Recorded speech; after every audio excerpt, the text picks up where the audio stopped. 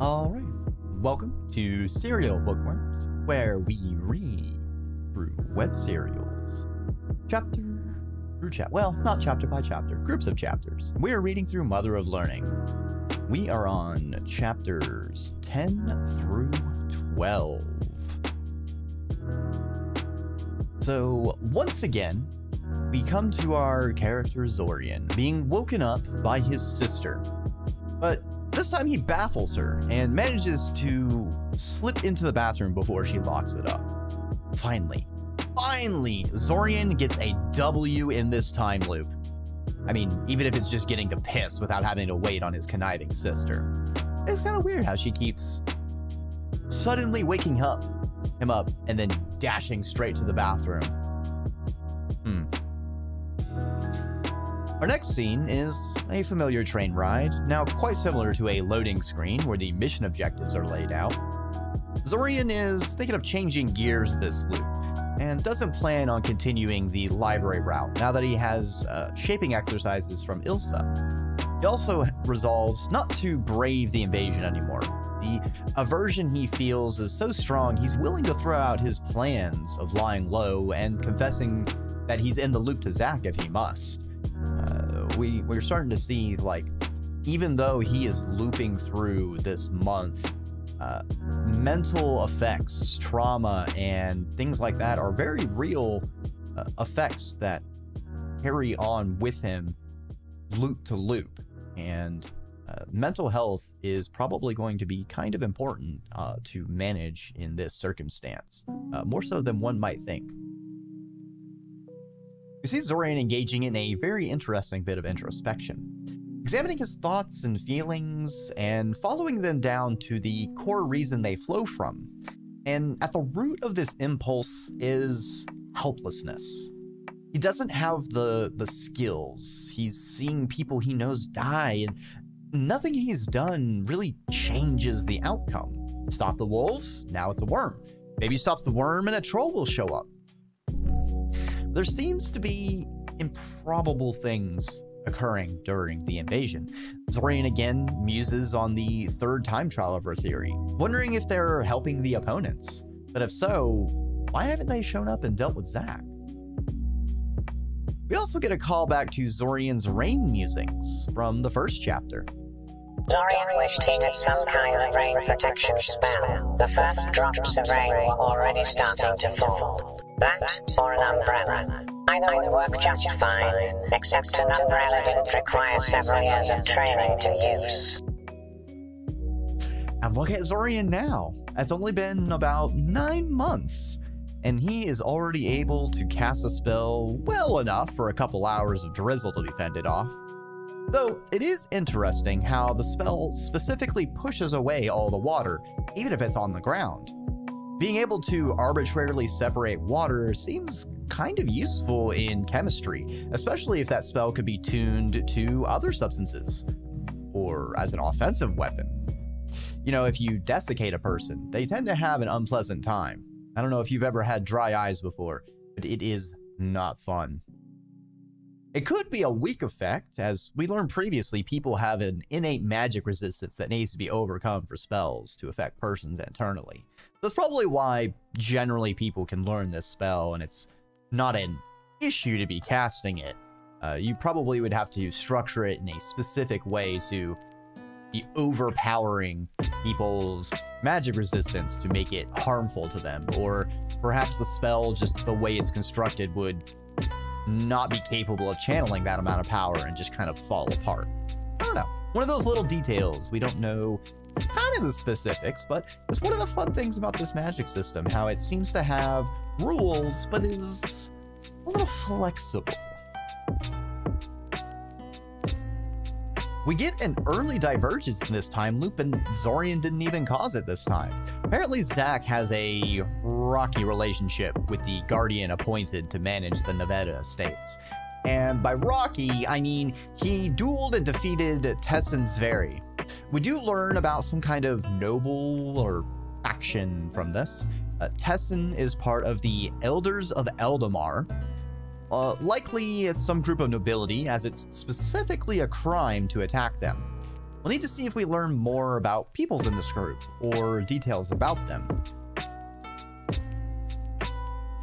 They may be related to the government in some major way, considering, you know, the country is Eldemar. Could be sort of descendants of major persons who founded the country, mayhaps? Hmm. We get an idea of what Zorian focusing single-mindedly on a project looks like.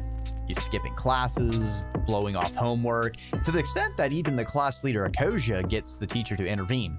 Of course, a simple excuse of he's working on a project. It'll be done at the end of the month. Don't worry. And that's enough to assuage Ilsa's concerns. There is still a one-liner once again being thrown away about Zim still having him on Basic 3 practice. Uh, it's kind of interesting. We haven't had a scene with Zim, Xvim in a while, and anytime they're brought up, it's still just usually a one-liner about working on the basic three. Come the invasion, Zorian opts to simply get on a hill with a view of the city, rather than taking the train out like he has been a few times takes note of some of the broad stages of the invasion, and we kind of get things roughly laid out for us. There's the artillery barrage hidden amidst the fireworks. Fire elementals spawn from those uh, attacks, and they sort of cause some mayhem. Monsters spew out from the sewers, and then finally, the mages from the enemy make an appearance. Uh, of them, it seems the artillery crippling the city defenses is what Zorian thinks is the most devastating because you know, it, it seems to be very accurate in slowing down the response and making things much more chaotic and easier for the invasion forces to do more damage and be more effective. Zorian repeats this cycle in broad strokes a few times. Um, it's, a, it's a little bit of a, a typical time loop. Yeah, yeah, we're kind of skipping through a bit of time. And uh, it seems like Zach is doing very similar things as well. You know, he's dueling and beating up Tenzin and then gallivanting off to wherever. Unfortunately, even the single-minded focus of Zorian has limits, and he's at his wit's end. In mastering those 15 shaping exercises Ilsa of Teachers Past gave to him. Zorian tries to ply his utter mastery of the MOTS coursework by this time for concessions from Ilsa. He's rewarded with a pile of books to round out the gaps in his impromptu test showed. Zorian rallies as if he can survive Zim's mentoring methods for a year, subjectively, he could read a few manuals. Zorian will return, and Ilsa will rue the day she underestimated a Kazinski. We smash cut to Zorian waking up, and for once he is calm. Nice, even, to Kriel, thanking her for waking him up. Ironically, this lack of dramatic response actually gets her to climb off him for once. She begs for him to use some magic, and he humors her request by conjuring a few orbs of light to fly around. This is an interesting way to show Zorian's growth and mastery of the shaping exercises we've had mentioned. Uh, he used to struggle with multitasking, you know, uh, hovering a pen and then above his hand and then spinning it. Now he's created multiple differently colored orbs separate from his palm and he has them flying around. We also learn an interesting tidbit. Mastering certain groups of shaping exercises can make invocations relating to them more powerful and efficient. Learning that tidbit has mollified Zorian of much of his grumbling about always being given all these shaping exercises to work on. And I think that's kind of interesting in the greater context if we reference back to Zim and his insistence on mastering the fundamentals, the basic three. Is Zim being a hard ass because he's a grouchy, difficult person who doesn't want to mentor young mages, or does he actually have a specific purpose he's reinforcing by ensuring Zorian is absolutely perfect in the basic three? We have to probably keep this in mind as we learn more about shaping, and perhaps when Zorian can finally advance in his mentorship under Xvim. Unfortunately, Zorian forgets he had his room filled with an amateur planetarium, and he brought Ilsa there to discuss, discuss his upcoming semester and choices. Turns out the floating lights are not exactly a spell he should have access to right at the moment. Zorian name drops his older brother to deflect suspicion, grousing internally that Damien can get away with anything. Ilsa hands him the admittance scroll as usual, but has a bit of a comment this time. And you know how to produce something other than white light. Ilsa knows it. Impressive. I guess this should be easy for you, then. Almost does what he's done every time in the past shove mana into the seal holding the letter closed and break it open. But with Ilsa focusing on him and her comments, it causes him to reevaluate the scroll, and with close examination, he realizes he's been doing it wrong for the whole past subjective year. In fact, the seal literally says right on it what he needed to do leverage his mana control, and just channel into certain areas around the edges to pop it off cleanly. Ilsa asks that he visit her office when he gets to Cyoria so they can continue their discussion.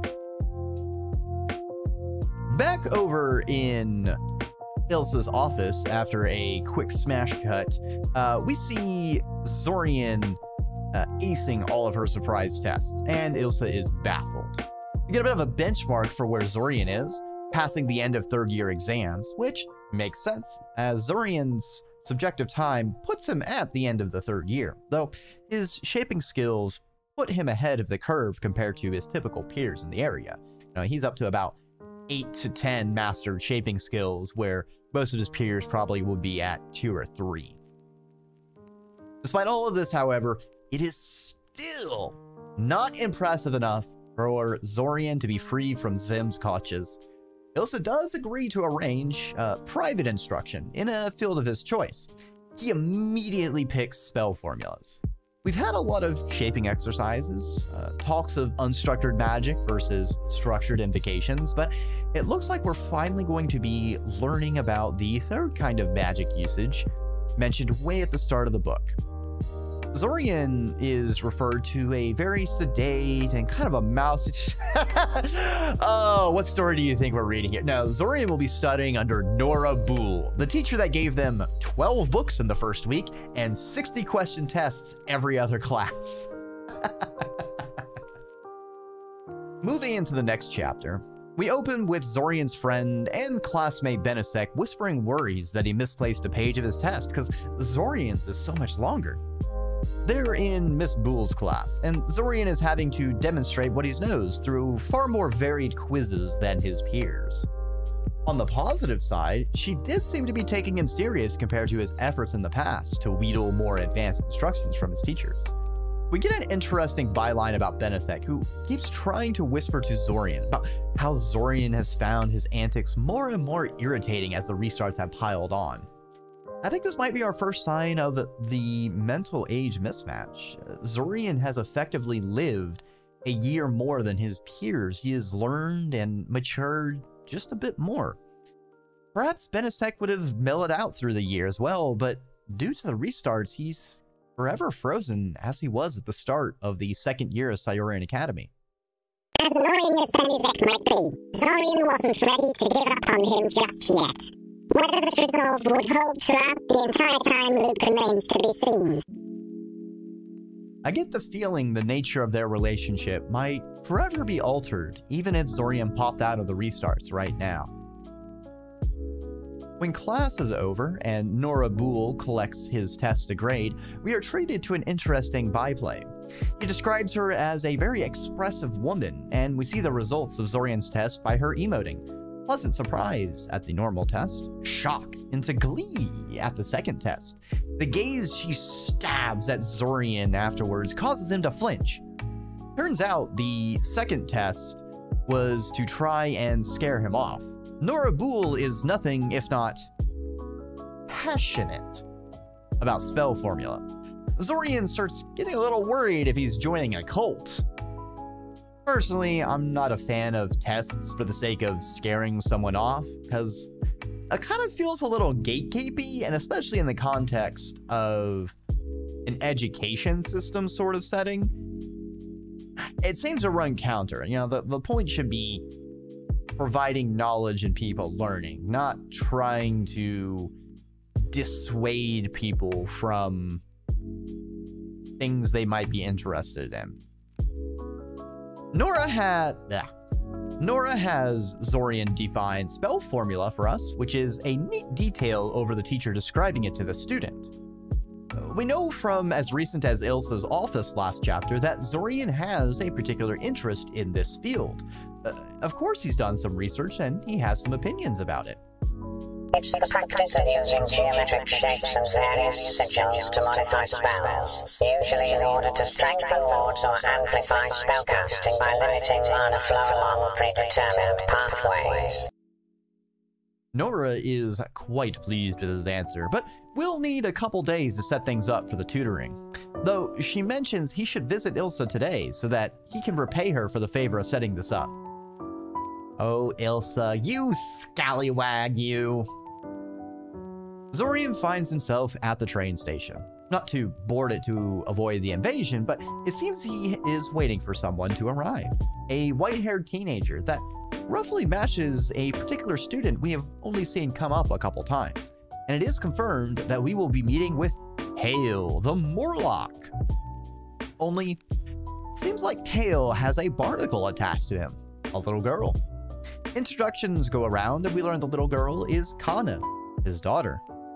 Doing a bit of mental math, Zorian figures that Kael was a parent at the age of about 13 or so.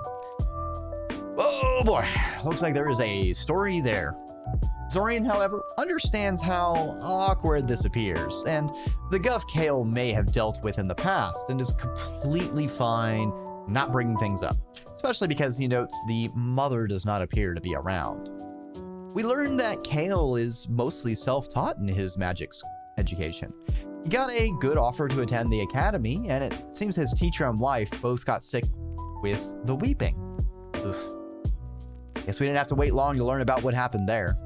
Considering weeping is capitalized in the text, it's an event of some importance, and it's occurred in the very recent history. We're gonna have to keep an eye out on that for more details.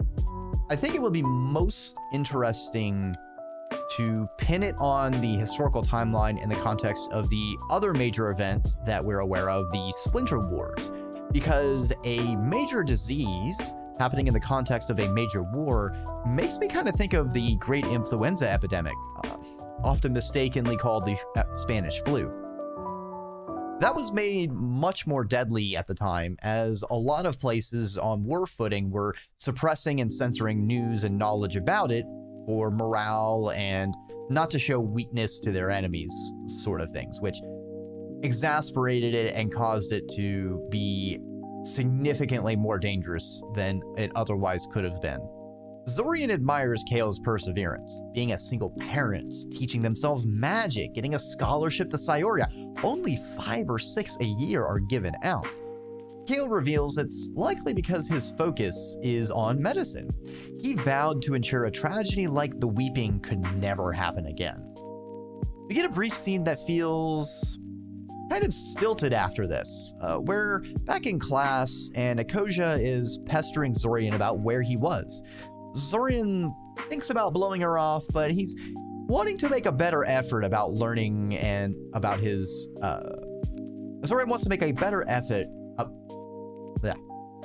Zorian almost blows her off, but he wants to make a better effort about learning about his fellow peers and, you know, giving them a chance. Uh, he kind of gets the vibes from her that she's concerned about him. Akoja responds with some unflattering observations about how Kael looks, to which Zorian calls her out on. It's kind of a few odd paragraphs. Buried in it is Zorian thinking back on conversations with Zach and how Zorian hasn't really tried to get to know his classmates. Feels like it sits, sits a little bit weird in the text, but perhaps it is simply a breadcrumb foreshadowing of some events to come. Shortly, we cut to a few days later when Nora Boole has organized the lesson for Zorian. She certainly seems to be someone who goes all out. The facility is one that requires special permission for students to visit. We get our first taste of what spell formulas are with an almighty cube! Essentially, a blank slate for Zorian to do a programmer's Hello World equivalent. Make it float, shine, spin, conditional activation, etc. Zorian's first thought is that he now has the perfect shiny toy to distract his little sister Kriel with. we get a bit of information about how some areas where invocations fail and spell formulas shine. Namely, invocations disperse after a short period. They only last hours at the most. Not very good if you want to set an alarm or shield your tent when camping, I'd imagine. It seems Nora teaches by throwing the student into the deep end. For his first cube, Zorian needs to make it activate verbally through command words, whether it's being addressed specifically, multiple brightness, directional, shining, covering it with something will automatically turn it off, segmented sides so they can be individually turned on and off, and it can be keyed to other people so they can also control it. So Zorian's task is to make Siri the lamp. That's that's what he's got to do. He's got to make. Hey, hey Siri, turn on the top side. All of these thoughts are going through Zorian's head as he arrives at Xvim's for mentoring. It has been many chapters since we've had an actual scene with Xvim, and not a one sentence throwaway. Something is going to be different. It seems practicing the fundamentals has finally satisfied Xvim, though there's a bit of an ironic twist, as he only tests Zorian with two of the three, assuming the third one, controlling fire, is just as good, where actually it's Zorian's weakness. And maybe Zorian's a water mage? What kind of teenager isn't speedrunning the fire spell? Like, come on! Zorian is given a blindfold, and Xvim is going to have him work on sensing mana by throwing marbles at him, which he has to say which side they're going or dodge them, as, that, as they will also be sent at his noggin. Xvim really is the teacher of all time, isn't he? the rest of the month progresses on pace, with Nora so excited to teach, she wants to set up a second day for extra lessons. Whether that's because impressing Ilsa, his lessons with Nora, or Xvim's begrudging acceptance of Zorian's com competency, begins to notice teachers and his peers taking him more serious. It Zorian is beginning to get to a state where he's exceeding people's expectations of him. Unfortunately, due to Kael's whole child situation and wanting to avoid attention, this sort of torpedoes Zorian's greater attempts to get to know the Morlock this cycle. Suddenly, Zorian finds himself waking up, Kriel jumping on him. The loop happened, but it didn't look to be through any action of his own. There wasn't any reason for him to be killed. He can't think of anything that would kill him faster than he could feel or notice anything. Zorian's mind instantly kicks into gear, and he eventually comes to the conclusion that Zach died.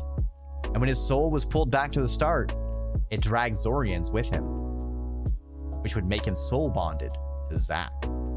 We open the next chapter with Zorian in a bit of a mood. His search for more information on soul bonds turns up nothing useful. All the same information he already knows. Soul bonds are dangerous, poorly understood, and capable of horrifying side effects. The main issue is that one person starts to mentally and spiritually dominate the other person, which effectively causes the other person's psyche to mimic the dominator and becoming obediently deferential. This process is okay with a familiar bond, as the human is dominating an animal which isn't sentient. Zorian is barely holding it together. He's in a fit of rage, his hands are trembling. He's trying to calm himself down. There's no doubt that Zach would overpower Zorian in a soul bond situation. He has about six times the mana reserves and years more experience. To add a cherry on top, Zorian presumes the part responsible for getting him in the time loop is the part of the soul bond, so he can't have it removed, or else all of his progress will be lost. It will be for nothing. All of Zorian's worrying introspection means he's unprepared for when Taiven makes her usual visit to his room. We learn more details about the job Taiven was always trying to recruit him into. Apparently, she's picked up a side quest to uh, grind out some XP after graduating Cyoria and needs a magic DPS to fill out the party while hunting for the 10 rat tails in the local basement. Oh, okay, hold on. I got, I got, I got my notes mixed up. Uh, no, it's a, it's a much more mundane and realistic task. Hold on, let's. There, uh, something about spiders who in the sewer. Uh, they mugged a guy. Yeah, yeah, that's what that, that's the right note this time. Well, Zorian decides this would be a good distraction to settle his nerves and accepts for once. Taiven kisses him on the cheek in excitement while thanking him profusely and running off. Zorian is definitely very much over his crush on Taiven, and there is absolutely no reason at all why he decided to just hit the EP quick, like by taking a sleep potion rather than deal with his thoughts about the situation. The next day, Zorian heads to class, and we once again meet up with Briam, uh, the person who has a familiar bond with a fire drake, who's shown up a couple times in the text. We learn a couple de- couple more details about soul bonds, but nothing that outright assuages Zorian's fears. Participants sometimes feel something, but not everyone. Usually takes an elaborate ritual to initiate the bond, but many of the bond side effects are things that Zorian can apply to his experiences, but a, uh, an ancient lich probably is much more skilled in soul spells than a simple ritual. Uh, most concrete tidbit that we do get is physical proximity and personal interaction is needed for a bond to mature. Zorian resolves to avoid Zach even more so than his current plan of avoiding Zach. On his way to the meeting place with Taiven, he comes across a park that feels strangely familiar. After a moment, he realizes it's the place with that girl whose bike went into the creek on the first day. Wasn't a path he usually took. He looks near the bridge to see if the bike is still there. Unfortunately, the heavy rain from the other day has definitely washed it away by now. He does see a little cat looking at the raging water, and he's struck by a deep sense of sadness when it turns and meets his eyes. Feeling unnerved, he moves on. Hmm.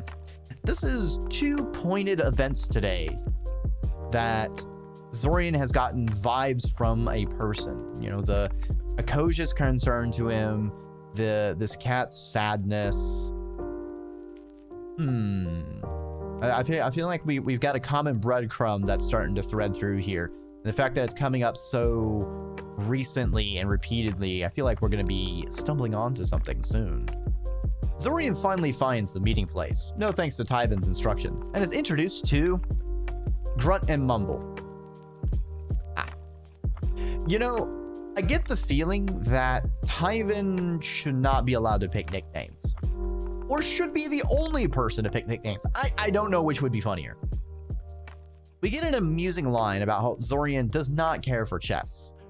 Oh no, the trope of the smart, thinky protagonist being an amazing chess whiz is overturned. Although, personally, I do think that trope is way overdone. The less said about Code Geass's use of that metaphor, the better. We are introduced to the dungeon. Uh, it's a labyrinth of caves and tunnels beneath the world. Apparently, mana becomes denser the further down you go makes it an interesting tidbit that all humans are on the surface, but it seems there are some truly nasty creatures out there, which can only live in such excessive amounts of dense mana. Even an experienced archmage is not safe to travel without care. Hilariously, it's obviously used as a natural sewer and flood control system for any human sub settlement to such an extent, they've even cultivated specific species of oozes and other monsters to maintain and care for it. And whenever a new human settlement is set up, they kind of pick some of them to repopulate. I guess Slime Rancher is a much more realistic game than one expects. Apparently, the man hiring Taiven and co. got an important watch mugged from him by giant spiders in the dungeon. Yeah, yeah, yeah, that checks out. There, there is no need to examine that any further. It seems pretty fine. Anyway, while they're in the dungeon, they try to use divination to find Giant Spider, but they don't get any results. Uh, they're kind of stuck, and having tried nothing, leaving them with anything they can do, uh, a wandering they do go. A couple hours of cardio later, that Zorian suddenly begins to feel a little bit eepy. He instantly begins fighting it off as the sleep spell is held off. Taiven, Grunt, and Mumble make their own efforts with varied performance. But only seconds pass before it lifts, and another mental strike occurs. A blast of memories and images directly into his mind, confusing him, and also seeming to be his past memories? We get treated to a rapid fire set of scenes that Zorian is likely to have gone through in past cycles, but one of those memories doesn't appear to be one of his. A war troll uh, tearing through white walls that seem to be made of cobwebs, and a question. Are you, I thought. The memories seem to pause as if expecting Zorian to respond. It returns more strange architecture, webs across lightless chasms, orbs of light woven in them. You don't understand me, do you?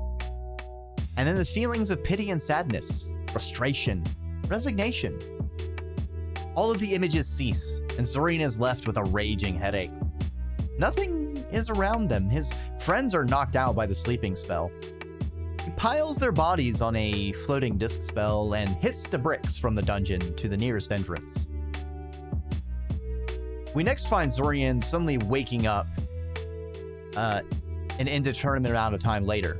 And he's kind of confused. His memories are all kind of mixed up and jumbled, and he doesn't even remember how he got to a hospital. It also seems like Ilsa is paying him a visit. We get a bit of an awkward moment where he thinks she's here to interrogate him. Seems Zorian has had some issues with the coppers in the past and being questioned. Zorian wonders how he was able to better resist the sleep spell compared to his more experienced combat combatant peers. And from the images, the voice seemed to be trying to speak to him, but didn't know how to talk to humans. Sapient telekinetic magical spiders? Not anything Zorian has ever heard of. Ilsa forbids Zorian from going into the dungeon, and yeah, yeah, that's that's fair. That that's pretty fair. Later, Taiven is trying to help Zorian practice for getting past Xvim's Marble Olympics, but she would rather teach him combat magic. Unfortunately, Zorian is not a combat specialist. There isn't really much she can help him with, but she says she's going to make plans. This latest scare has Zorian trying to map out a concrete plan and stop bumbling around so much in his learnings and understanding of the situations. So he breaks things down. 1. Time loop. How it came to be, how it functions, how it how to exit it. 2. The invasion. Why is it happening? It's too conveniently timed, so what is its connection to the loop?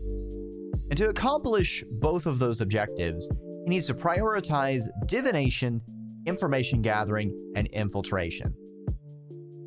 All right, it's time for Zorian to go on a ninja training montage. He plans to finish his on again, off again library apprenticeship. Make sure he has all of their spells and understands where everything is kept because a lot of divination is hinging on knowing what questions to ask and how to interpret the information. He also thinks of continuing his efforts of impressing Ilsa and choosing divinations over spell formula, as if the person who would be teaching divination has half the energy of Nora Boole, eh, he's going to make great progress in learning an elsewise kind of tricky discipline. Resolved, Zorian begins walking up to his apartment, and we cut to black. Kirielle is jumping on him, and he wakes up at the beginning of another loop. Seems like Zach died again. Talk about skill issue. Only been a few days. Oh, silly Zach. What a klutz. Hopefully, he wouldn't make a habit out of this. It's uh, pretty inconvenient to be yanked back. Zach wouldn't really be the kind of person to try and death prog through something, right? Right? And that's where our recap of the chapters will end. So, to date, starting with his most recent awakening, Zorian has been through roughly 14 months since he first woke up for uh, this month.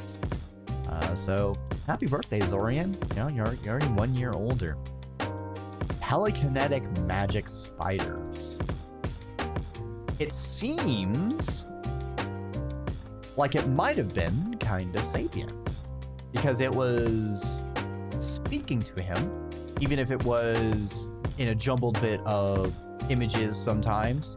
If the um, messages weren't exactly human understandable, uh, because in in the text itself, um, the creature, whenever it seems to be saying words to Zorian, they're in uh, brackets. So it's in some kind of other language, or perhaps like directly into his mind. So it's a little bit up to interpretation how that is understood. Which makes it interesting because a lot of the monsters from the invasion come out from the sewers. So are these creatures perhaps working with the invasion? Is this going to be a new thread for finding out what's going on with the invasion? Hmm. Are there other possible sapient creatures that we might meet? You know, we have a spider, but you know, what about what about a worm? Hey, you know, eh, eh, eh, ah. But that's going to be it for bookworms today. Our next chapters we're going to be going over is going to be chapters 13 through 15.